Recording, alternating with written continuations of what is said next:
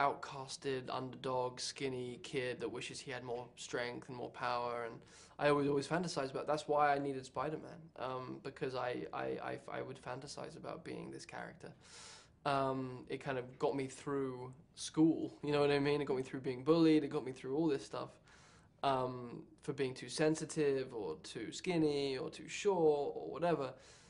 But there is this old idea that, that your, your, what you perceive as your biggest wounds can be your biggest gifts. And for Peter Parker, that's for sure true. Because if, if Peter Parker wasn't sensitive and sweet and bullied and compassionate for, to the underdog's plight, he would make a pretty crap superhero. Like he makes an incredible superhero mm. because of all that sensitivity and thin-skinnedness and compassion. So when he does finally get power, he does just beautiful stuff with it all the time and has fun with it as well. He's the trickster. He's the class clown.